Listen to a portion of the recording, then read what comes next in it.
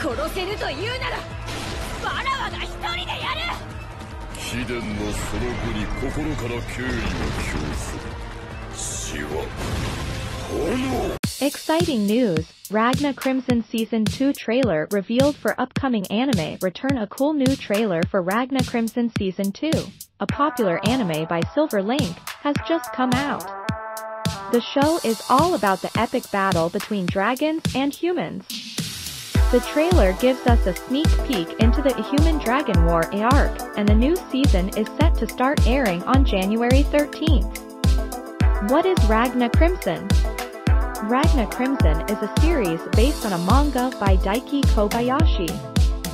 It has a talented team behind it, including director Ken Takahashi and character designer Shimpei Aoki. The story, written by Deko Akao, revolves around Ragna, a young hunter whose life is turned upside down when he's attacked by the winged blood. He gets a powerful ability from his future self and a mission to fight against dragons.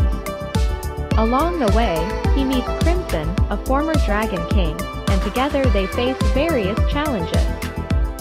The story follows Ragna, who, after a tough encounter with the Winged Blood, faces the mission of battling dragons with the help of Crimson, a powerful ally. The plot unfolds with Ragna's separation from Leonica, an essential person in his life. As the battles intensify, Ragna, alongside the Silver Princess Staria Rese and the formidable Silver Armor Corps, confronts the mighty King of Wings, Artematia. The war takes a drastic turn as they face the strongest member of the A-Winged bloodline, leading to a seemingly impossible fight with a significant power difference. The anime features talented voice actors, including Chiaki Kobayashi as Ragna, Ayumu Murase as Crimson, Fairouz Ai as Slime, Mamiko Noto as Chimera, Hiroki Touchi as Golem, Reina Ueda as Artematia, Junichi Suwabe as Wolta Conway, and others.